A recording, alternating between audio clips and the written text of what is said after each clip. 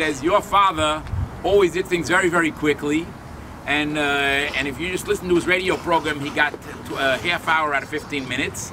So likewise, don't think that he's only 66. He lived 120, and uh, based on that, 100, you know, 132, and he fulfilled everything properly. But in the day of fasting is really a day of fulfillment and a day of elevation, and aliyah.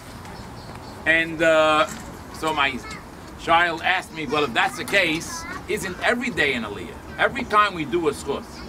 And very quickly and briefly, every time a child, a grandchild does a mitzvah, automatically, why am I doing it? This is what my father taught me. Why did my father teach me this way? Because this is what his father taught him. So therefore, all the generations that come and students, if it's the release time or Adaret Machana, all those children and grandchildren and great-grandchildren, every time they do a mitzvah, the neshama of Zaydihach goes, has an aliyah to a higher place, has more power. So, my dear family, and if I may say, we're not coming here because of Zayd.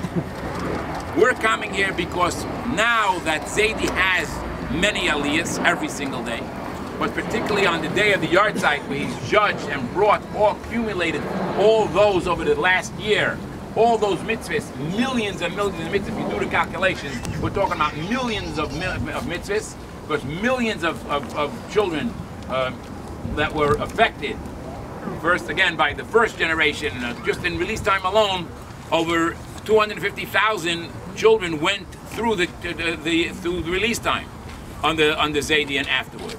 And likewise, with our own ways, everyone think that there are uh, hundreds of shluchim around the world today, and rabbis, as uh, my nephew uh, Shmuley Famiel says, the largest uh, rabbinic family in America today, and the therefore world, probably in, the world. in, the world. and therefore probably in the world. In The world. the fact is, so we have uh, hundreds and millions of paytas and uh, and things that we accomplish, and therefore every day there's aliyahs. It's